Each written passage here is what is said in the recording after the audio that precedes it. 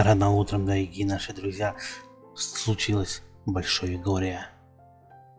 Нам стало известно о том, что сегодня ночью в своем автомобиле на стоянке возле дома в бессознательном состоянии был найден российский музыкант и продюсер Виктор Дробыш. Что с ним случилось, пока неизвестно. Известно только то, что прохожие обнаружили его в своем автомобиле. Они заметили, что дверь автомобиля открыта и человек лежит головой на руле. Решили поинтересоваться, что случилось, и поняли, что человек находится без сознания.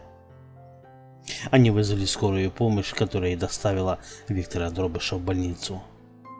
Сейчас эту новость пытаются скрыть от общественности. Мало кто об этом говорит. Можно сказать, вы одни из первых, кто сейчас об этом узнаете.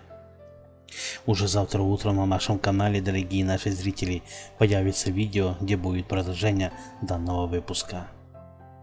Не забывайте, что только подписавшись на наш канал, вы не пропустите свежий выпуск, который мы делаем для вас каждое утро. Будьте всегда с нами и до скорых встреч, дорогие зрители, на нашем YouTube канале.